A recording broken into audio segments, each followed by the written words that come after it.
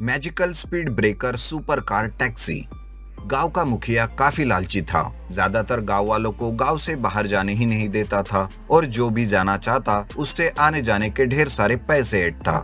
गाँव वाले भी बेचारे उसे मुँह मांगी कीमत दे देते और करते भी तो क्या, किसी के पास यात्रा का कोई साधन नहीं था। बस एक ही गाड़ी थी जो मुखिया के पास थी, इसी चीज़ का फ़ायदा वो हमेशा उठाता और गरीब गाँव वालों को लूटता रहता। उसी गाँव में किशन नाम का एक लोहार रहता था। बस उसी का बेटा शहर में पढ़ाई करने गया था। वो बेटा जब लौट आया, तब उसे गाँव की हालत देख कर बेहद बुरा लगा और वो कहने लगा, ये क्या हो रहा है गाँव में? दुनिया कहाँ से कहाँ चली गई? और अब भी हम यहीं पे अटके हुए हैं। कब तक उस मुखिया की ज़बरदस्ती को सहन करोगे आप सब?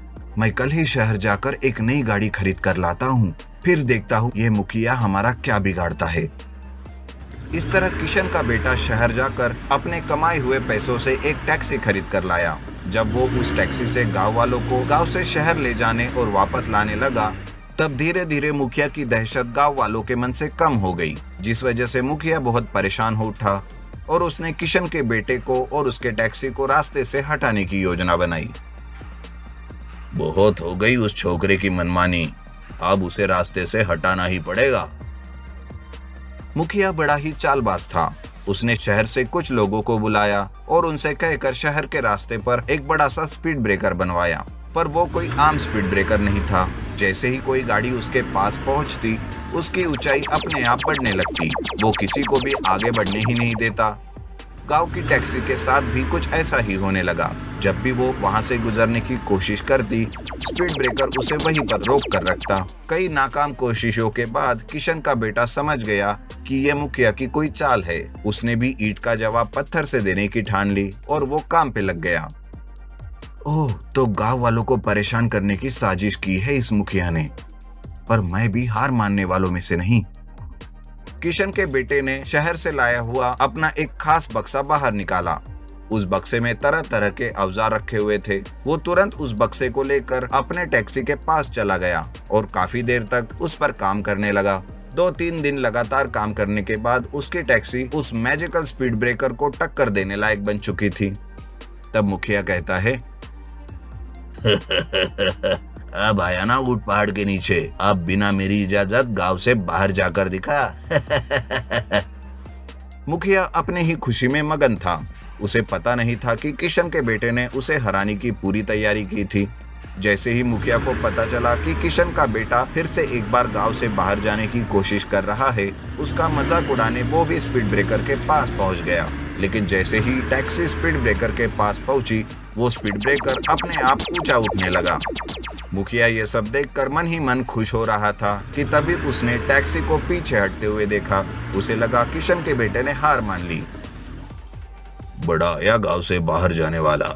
जैसे आया वैसे ही वापस लौट रहा है। चलो, हम भी अब घर चलते हैं। मुखिया वापस जाने के लिए तैयार था कि तभी अचानक उसे टैक्सी की आवाज़ और ज़ोर से आने लगी। उसने मुड़कर देखा तो टैक्सी अपूल स्पीड से चल रही थी और देखते ही देखते वो हवा में उड़ती हुई स्पीड ब्रेकर के उस पार आराम से ज़मीन पर उतर गई। इस तरह सुपर टैक्सी के मदद से किशन के बेटे ने मुखिया के गंदे इरादों को नाकाम कर दिया। मुखिया भी अपना सबक सीख चुका था। उसने गाँव वालों से माफ़ी मांगी और खुद को सुधारने का वचन भी दे दिया।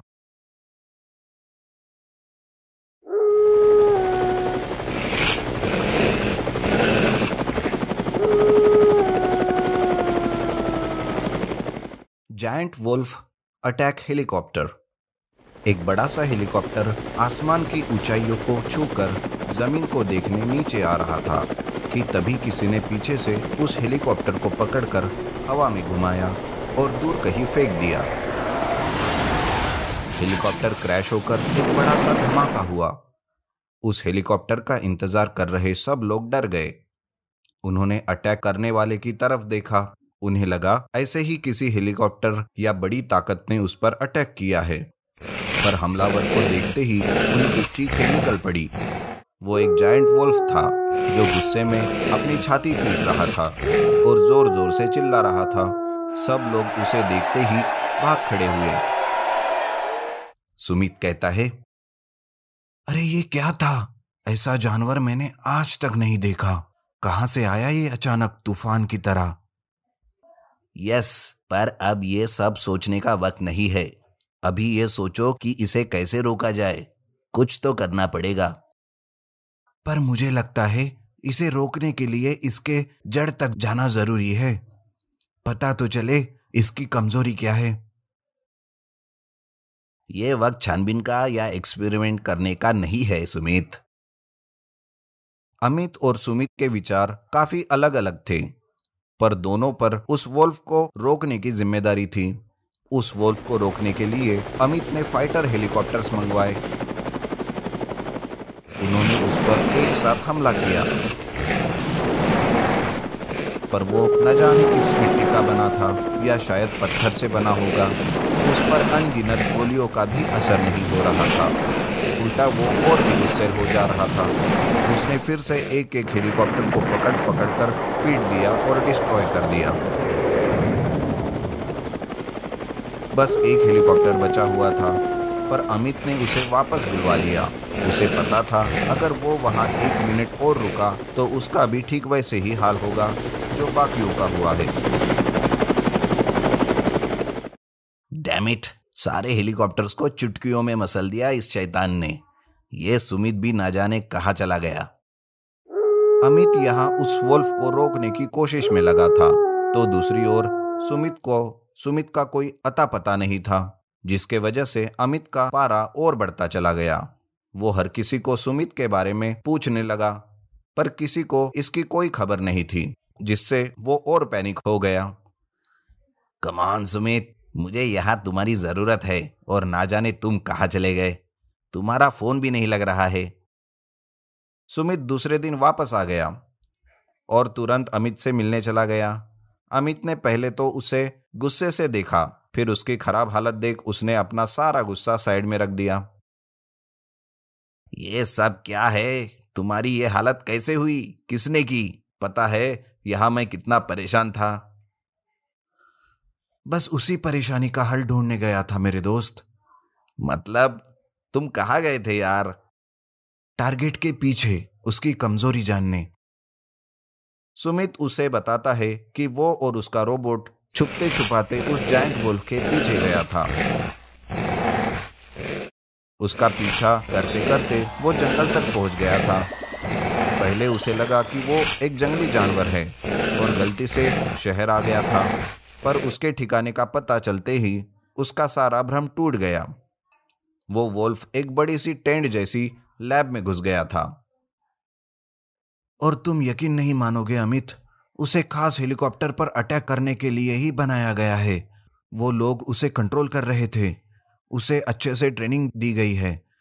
बस मुझे ये समझ नहीं आया कि वो लोग कौन थे, पर हाँ उस वुल्फ के कमज़ोरी का पता चल गया है। ये देखो, ये है वो केमिकल जिससे हम उसे खत्म कर सकते हैं। मैं उसी टेंट से चुरा कर लाया हूँ ये। और मेरे रोबोट अभी भी वहीं पर है और उन पर नज़र रख रहे हैं। जैसे ही वोल्फ इस ओर आएगा, मेरा रोबोट मुझे इन्फॉर्म कर देगा, और हम तभी उसका सामना करने के लिए तैयार हो जाएँगे। यू आर हॉरिबल सुमित ये सब तुमने अकेले किया, वो भी मुझे बिना बताए। अगर तुम्हें कुछ हो जाता तो पर मानना पड़ेगा। दुश्मनों से लड़ने का तुम्हारा स्टाइल ही अलग है। ऊपर से तुम्हारा वो रोबोट। दोनों दोस्त गले मिलते हैं और अब मिशन सक्सेसफुल करने की ठान लेते हैं। दूसरे दिन वो दोनों खुद दो अलग अलग हेलीकॉप्टर्स में पायलट के साथ बैठ जाते हैं और अपनी अपनी गन्स में उस केमिकल्स की बुलेट को लोड कर लेते हैं।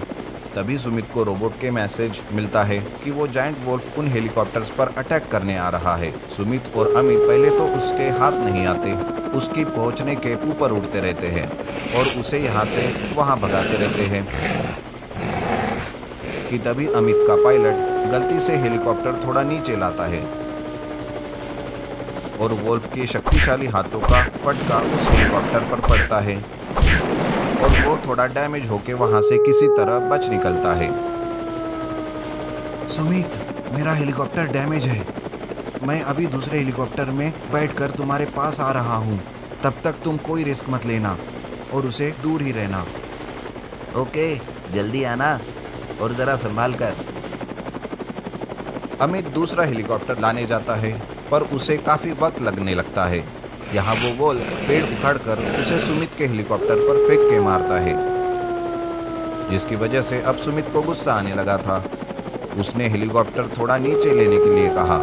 ऐसा करते ही उसने वोल्फ पर निशाना साधा। उसी वक्त उसका हेलीकॉप्टर भी वोल्फ के पकड़ में आ गया। अचानक एक बड़ा धमाका हुआ और काले धुएँ से वोल्फ और हेलीकॉप्टर छिप गए कि तभी अमित वहाँ पे आ गया। Oh no Sumit. शिट। थोड़ी देर रुकते सुमित। मैं बस आ ही रहा था। ये सब क्या हो गया? मेरी देरी की वजह से आज मेरा सबसे प्यारा दोस्त मैंने खो दिया। ओह तो वोल्फ तुम्हारा दोस्त था। तुमने उसे भेजा था। इडियट मैं वोल्फ की नहीं मेरे दोस्त सुमित की बात कर रहा हूँ। तुम तुम यहाँ तो वो कौन? अमित को लगा था कि सुमित नहीं रहा, पर सुमित वोल्फ से फास्ट निकला और उसका निशाना भी सही लगा। इसलिए वो नहीं, वोल्फ एक बड़े धमाके के साथ उड़ गया। सुमित भी अपने हेलीकॉप्टर से नीचे गिरने लगा कि तभी उसके रोबोट ने उसे हवा में पकड़ लिया और उसे बचा लिया। रोबोट को थैंक्स बोलकर सुमित ने तुरंत उस टेंट की तरफ़ अपने रोबोट को भेज के वहाँ के लोगों को पकड़ कर लाने के लिए कहा। दोनों दोस्त फाइनली उस जाइंट वुल्फ से छुटकारा पाकर बहुत खुश थे। थोड़ी देर वेट कर लेते, तेरी खुशी और भी बढ़ने वाली है। सुमित की बात अमित के पल्ले नहीं पड़ी, कि तभी वहाँ सुमित ने भेजा हुआ रोबोट कुछ लोगों को पकड़ कर ले आया। और उसने सुमित को यह भी बताया कि टेंट को भी सील कर दिया गया है। सुपर तुमने और तुम्हारे रोबोट ने आज तो कमाल ही कर दिया। ये इंसान की समझदारी और रोबोट की ताकत ने मिलकर एक भयानक जायंट वोल्फ को हरा दिया था।